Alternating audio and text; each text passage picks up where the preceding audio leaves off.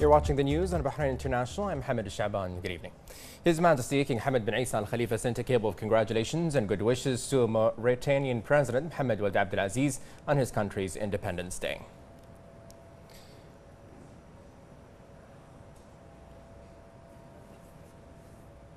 His Majesty King Hamad bin Isa Al Khalifa held today at Gudaibiya Palace joint talks and a business lunch with the Sultan and ruler of Malaysia's Johor state, His Majesty Sultan Ibrahim ibn al Marhum Sultan Iskandar. His Majesty reviewed with the guest means of strengthening bilateral relations as well as commercial and economic cooperation through initiating joint projects and exchanging official visits for the benefit of both countries and their people. His Majesty expressed his aspiration that the visit would widen the horizons of cooperation as well as bilateral cultural and touristic communication. He affirmed that the kingdom's strategic location and the facilities it provides for investors and businessmen has made it a leading destination for global companies. His Majesty noted the deep-rooted history and civilization of Bahrain and Malaysia and the two countries' keenness on developing cooperation at all levels. Their Majesties asserted the importance of increasing partnership opportunities between businessmen and the private sector to bolster bilateral relations. For his part, His Majesty Sultan Ibrahim praised the development of the kingdom at all levels under the leadership of His Majesty the King. He expressed pride in the positive results results of his visit to Bahrain and the talks he held with His Majesty, expressing thanks and appreciation to His Majesty the King for his invitation and the warm reception he received.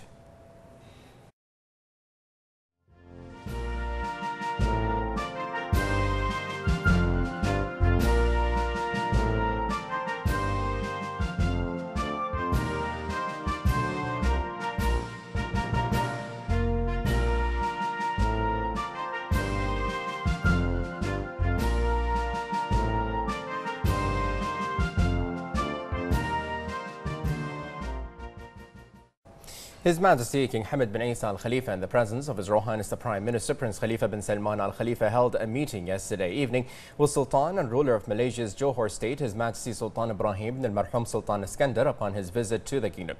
His Majesty welcomed the kingdom's guests and hailed his visit, which reflects the development of bilateral relations. His Majesty Sultan Ibrahim thanked His Majesty the King for the invitation and the warm welcome and hospitality he received. The meeting was attended by a number of officials from both sides and discussed bilateral relations and ways to further develop them in addition to a number of issues of common concern. His Majesty the King expressed Bahrain's pride in the development of the Bahraini-Malaysian relations in all fields under the wise leadership of both countries. His Majesty the King hailed the development of Malaysia's Johor state under the leadership of His Majesty Sultan Ibrahim, affirming Bahrain's keenness to enhance joint bilateral cooperation for the benefit of both countries and their people. His Majesty also hailed Malaysia's leading role on the Asian and global levels on its economic, industrial and development achievements. His Majesty praised the results of his latest visit to Malaysia, which played an important important role in bolstering bilateral cooperation and expressed appreciation for the Malaysian leadership's keenness to boost relations with Bahrain, wishing that His Majesty Sultan Ibrahim's visit will bolster bilateral ties. For his part, His Majesty Sultan Ibrahim praised the efforts of His Majesty the King in developing Bahraini-Malaysian relations, wishing them ties further prosperity. His Majesty the King held a dinner banquet in honor of the kingdom's guest.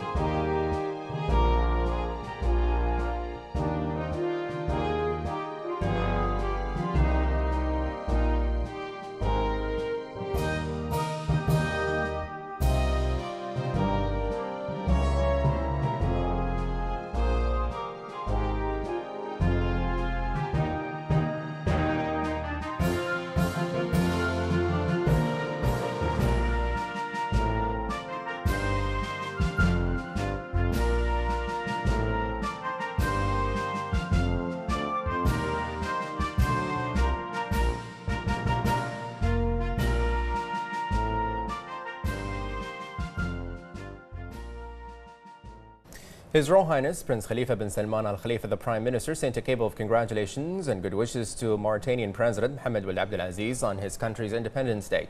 His Royal Highness the Premier also sent a similar congratulatory cable to Mauritania's Prime Minister Yahya Ould Hademine, wishing the Mauritanian people more progress and prosperity. His Royal Highness uh, Prime Minister Prince Khalifa bin Salman Al Khalifa issued a circular stipulating the official holiday on the Prophet's birthday anniversary. The kingdom's ministries, directorates, and official institutions will close on Thursday, November the 30th, corresponding to 12th of Rabi' al Awal, 1439 Hijri, marking the birthday of the Prophet Muhammad, peace be upon him. His Royal Highness the Prime Minister Prince Khalifa bin Salman Al Khalifa met today with Sultan and ruler of Malaysia's Johor State, His Majesty Sultan Ibrahim bin Marhum Sultan Iskandar. His Royal Highness the Prime Minister noted the importance of His Majesty Sultan Ibrahim's visit to Bahrain and reinforcing brotherly relations with the kingdom, highlighting the pioneering role of His Majesty in the national success of Malaysia's and supporting efforts to preserve security and stability in the world. His Majesty Sultan Ibrahim commended Bahrain's development in all fields, which reflect success of the government led by His Royal Highness the Prime Minister in laying down a solid foundation for a brighter future. He confirmed that he will direct the Malaysian officials to make use of Bahrain's developmental experience. His Royal Highness expressed satisfaction about the existing cooperation between Bahrain and Malaysia's Johor state that is already witnessing further progress. He affirmed the importance of increasing exchanged official visits to explore opportunities of collaboration, especially in investment and commercial projects to meet the aspirations of both countries and people.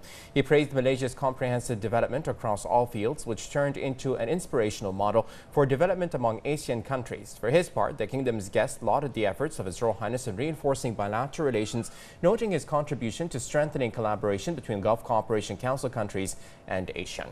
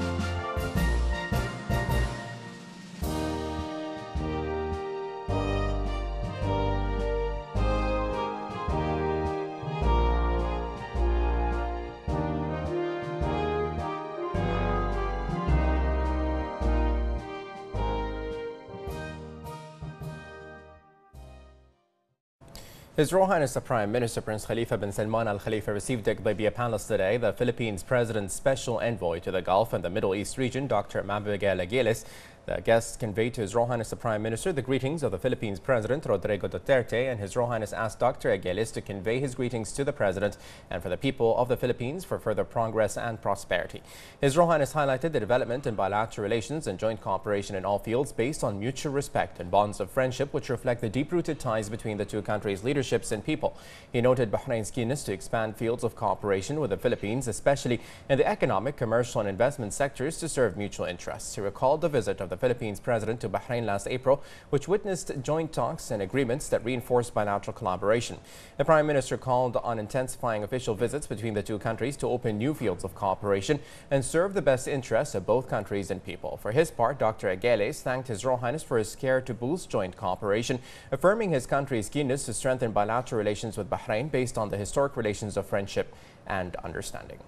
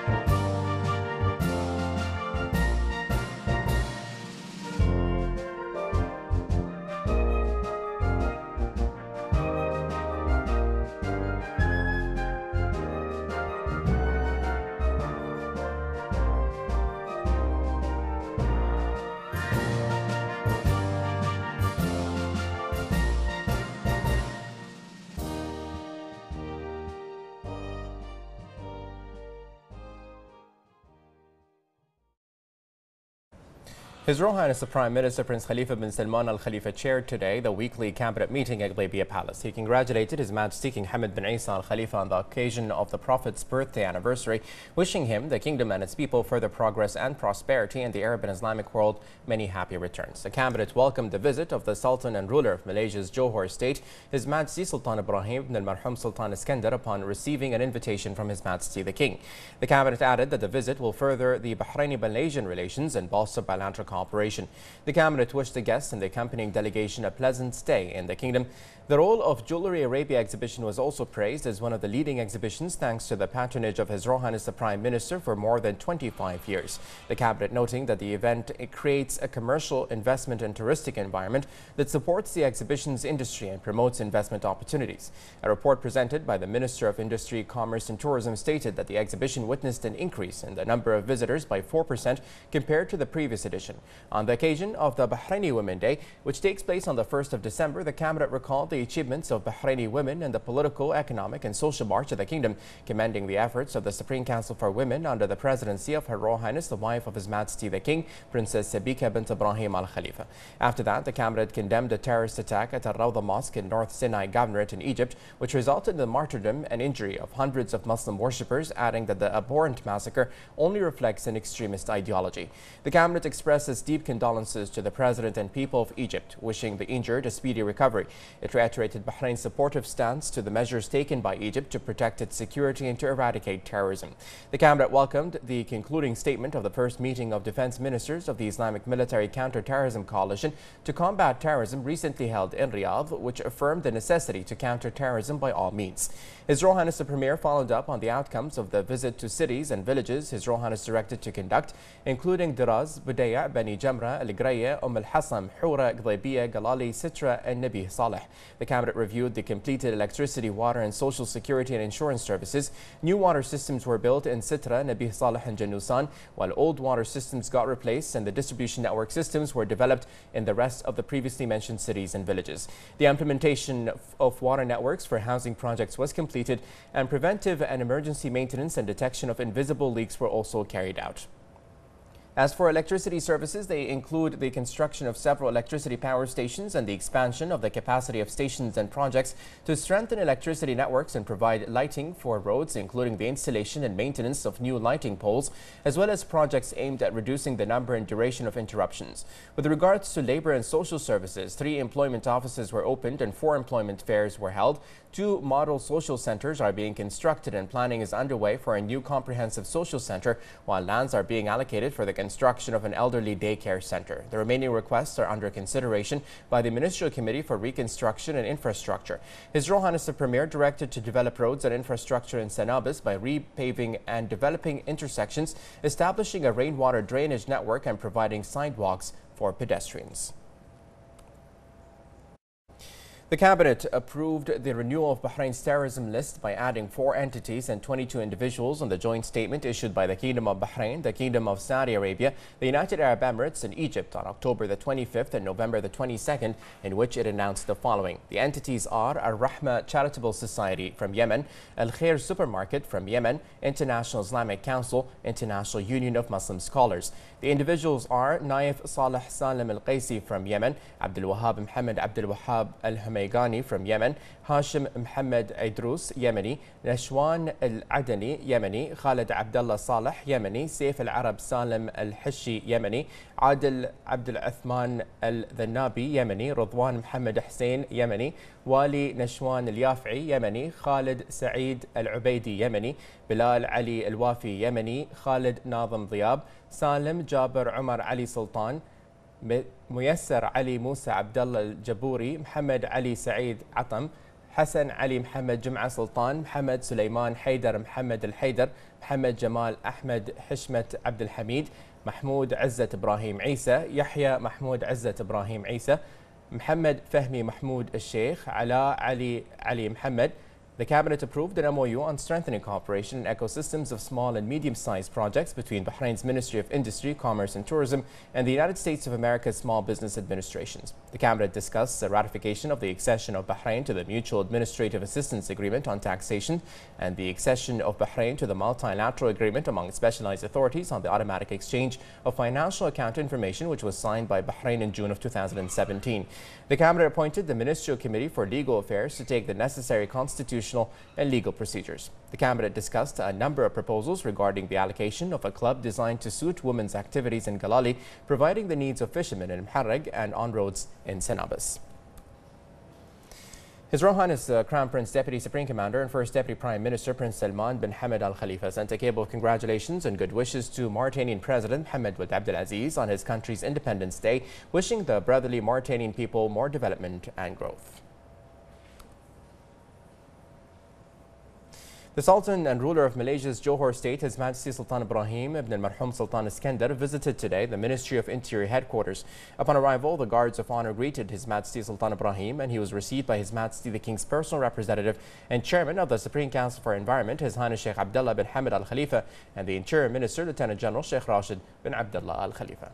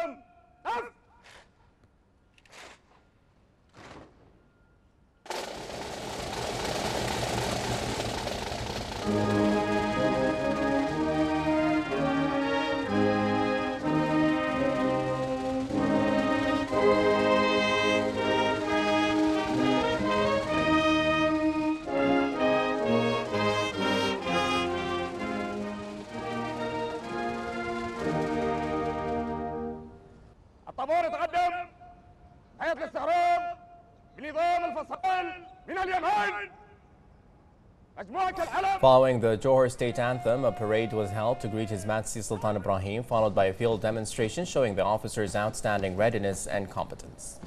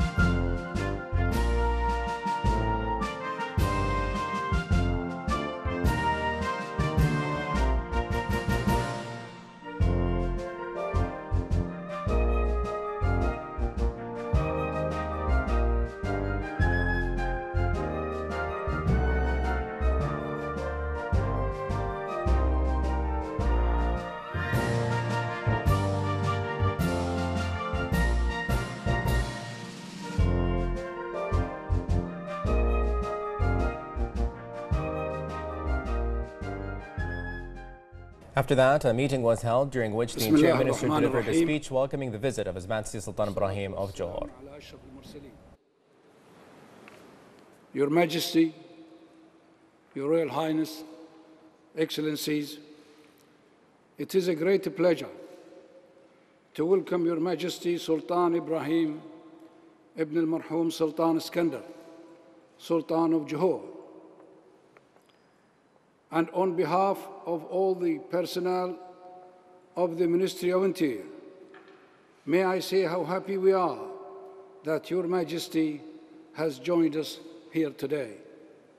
In the presence of His Royal Highness, Sheikh Abdullah bin Hamad Al Khalifa, personal representative of His Majesty King Hamad bin Isa Al Khalifa.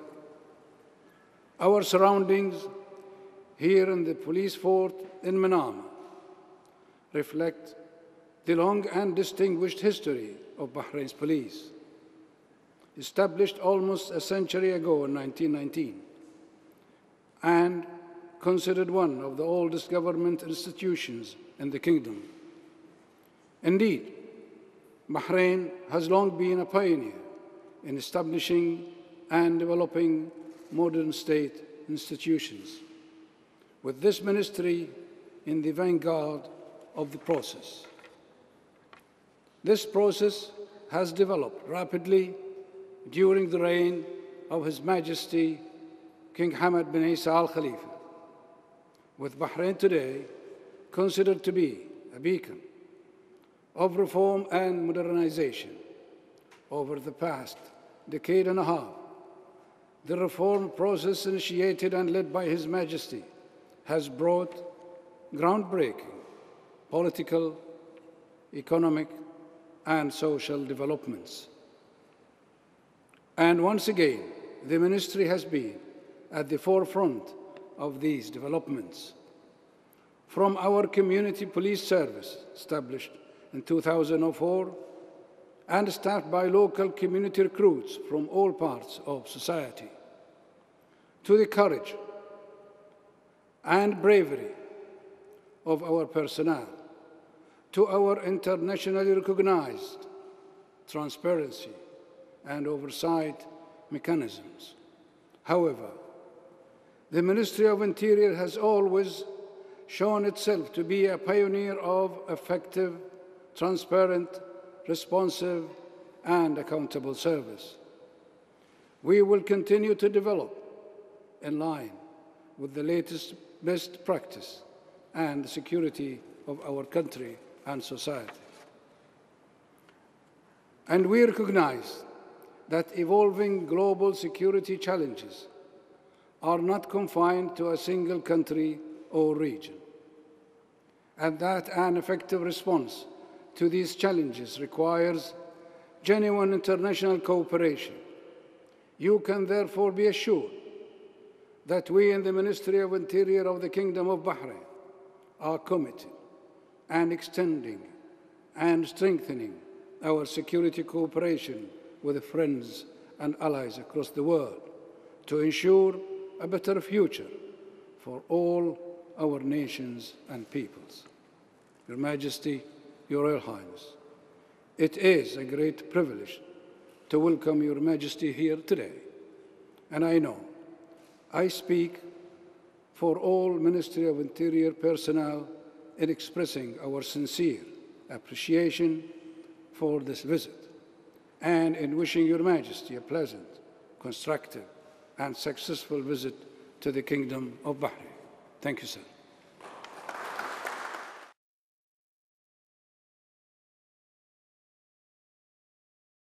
The Minister of Interior then presented His Majesty Sultan Ibrahim with a commemorative gift.